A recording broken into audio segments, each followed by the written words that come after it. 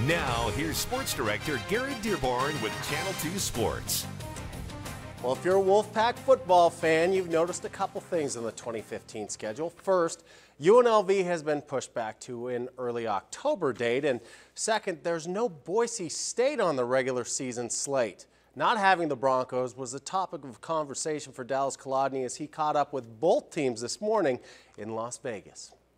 For the first time in 15 years, the Nevada Wolfpack and the Boise State Broncos are not scheduled to play each other in a football season. That last time, the year 2000, when Nevada moved from the Big West to the WAC and Boise State was still in the Big West. We caught up with both teams here at Mountain West Media Days and got their reaction to not playing each other this upcoming season. Yeah, that's definitely a downer. I actually uh, tweeted out when the schedule came out that I, how disappointed I was in that. Um, those guys are a rival as well. Oh yeah, definitely. Those were that was one of the teams that we always look forward to playing throughout the season. They always give us good games. Uh, very disappointed. You know, you know, you always want it. You want it as a competitor. You know, you want to see those teams on your schedule.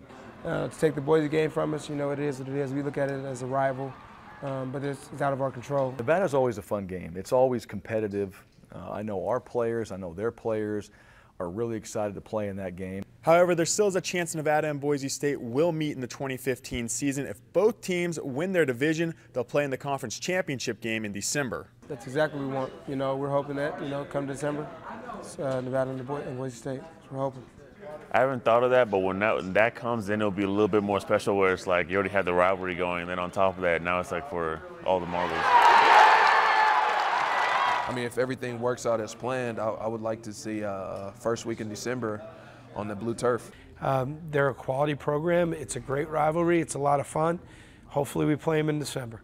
So that wraps up the Mountain West Conference Football Media Days for 2015, but not our coverage. Still a couple of stories to get to this week, including Commissioner Craig Thompson's State of the Conference speech. But for now, from Las Vegas, Dallas Kolodny, Channel 2 Sports.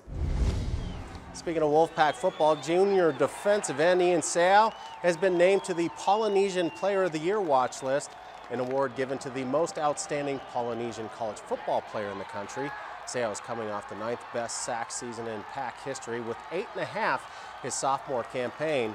He also tallied 39 tackles.